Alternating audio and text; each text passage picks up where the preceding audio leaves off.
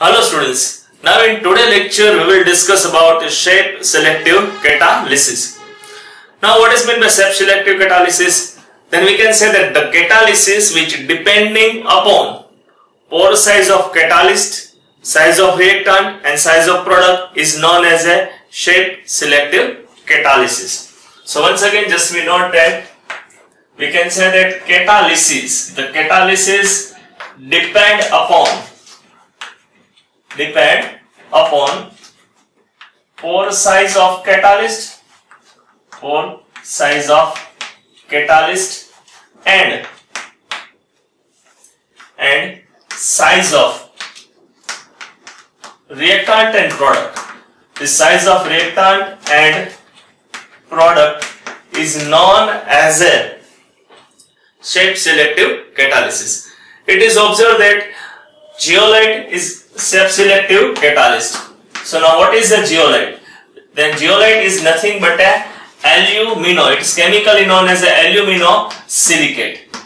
Now in a three-dimensional network structure of silicate, some silicon atom are replaced by aluminium. Then we get a alumino silicate. Now formula of this alumino silicate we can write Na2, Al2, Si4 and O12. So formula of once again zeolite is Na2, Al2, Si4 and O12. So zeolite having a honeycomb type of three-dimensional network structure. It is a just structure like a honeycomb. You have seen this type of honeycomb. In a three-dimensional structure of honeycomb, there is a tiny tiny pores.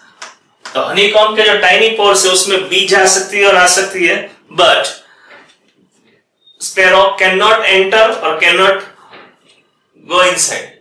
So zeolite having a similar type of structure just like a three-dimensional network structure like a honeycomb, it has a tiny pores.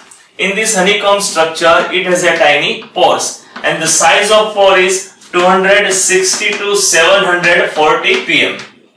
So the molecule which are smaller as compared to 740 pm this molecule only can adsorb on surface of catalyst. So, it depending upon, it can be adsorb or it can be desorbed.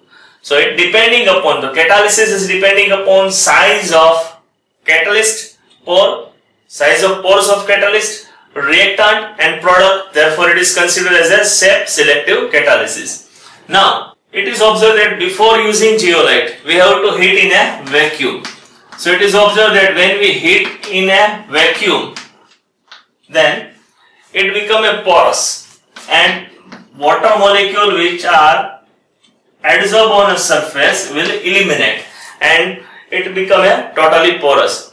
So why we have to heat in a vacuum? So it will remove moisture molecule. So this process to heat in a vacuum is known as the activation of zeolite.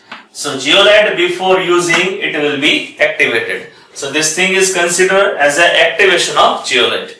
Now zeolite can be used as a catalyst for variety of phenomena. Generally it is observed that for cracking and isomerizations. Cracking means big molecule broken into small molecules and isomerizations to convert molecule into the isomer. So in cracking or isomerizations of hydrocarbon, zeolite is very well used. So zeolite is used for cracking of hydrocarbon as well as for isomerization of hydrocarbon. Now one of the most important zeolite ZSM-4. It is observed that ZSM-4 is the most important zeolite and it is used for conversion of gasoline we can say that it is used to convert alcohol into gasoline. So one can obtain a petroleum product from alcohol by using a zeolite known as a ZSM5. So once again, first shape selective catalysis. We can say that the catalysis which depending upon pore size of catalyst as well as size of reactant and size of product is known as a shape selective catalysis. It is observed that zeolite is the best example of shape selective catalyst. Zeolite is nothing but a aluminosilicate and it is a formula Na2Al2Si4 It is observed that in a three-dimensional network structure of silicate, some silicon molecule is replaced by aluminum. Then we get aluminum silicate. So it is observed that this zeolite having a three-dimensional network structure like a honeycomb and it has a tiny pores and size of pore is 260 to 740 pm. So the catalysis phenomena of zeolite is depending upon size of reactant product as well as pore of catalyst. So it is considered as a good shape selective catalysis. Now the molecule of reactant as well as product which is a size smaller than 740 pm can adsorb or it can dissolve.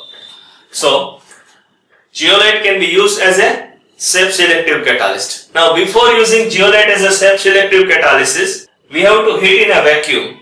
So water molecule which is present on its surface, it will remove or eliminate and catalyst become porous. So this process is considered as, an activation of catalyst. Now this zeolite can be used for variety of purpose. It is used for cracking as well as isomerization of hydrocarbon and the one of the most important zeolites ZSM5 convert alcohol into gasoline in a one step. So in today's lecture we have studied shape selective catalysis.